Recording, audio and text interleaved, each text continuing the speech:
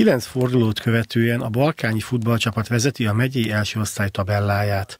Mirgai László együttese három győztes meccset követően a negyedik fordulóban Nyírgyulajban vesztett két pontot, majd újabb négy meccset nyertek meg Bogdanovicsék. Az elmúlt hétvégén hazai pályán a Tuzsérral gól nélküli döntetlent játszott a Balkány, de két pontot így is meg tudott őrizni előnyéből a Nagyecseddel szemben az újonc, amely edzője szerint eddig várakozáson felüli teljesítményt nyújt a bajnokságban. Veretlenek vagyunk még, de azt el kell mondani, hogy senki nem várhatja azt, hogy minden meccset meg fogunk nyerni. Én azt gondolom, hogy erőn felül teljesített a csapat, és azt gondolom, hogy a közönség is elégedett velünk.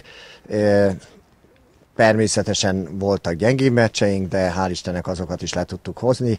Szerintem erőn felül teljesítünk.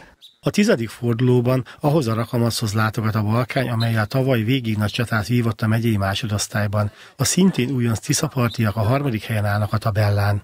Rakam az jó csapat, tudja mindenki, hogy a, a Madai Nagy Gyuri jó munkát végzi, végez Rakamazon.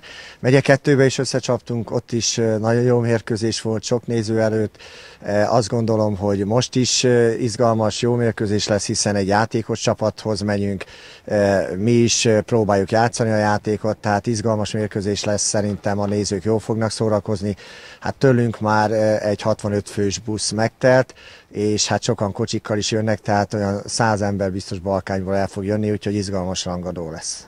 A tizedik forduló további párosítása a következő, Nagyecsed Sényű, Tuzsér Nyírgyulaj, Tiszavasvári Máté Szalka, Mándok Ibrány, Nagyhalász Baktolórendháza, Gyulaháza Vásárosnamény és Szakoly Fehérgyarmat.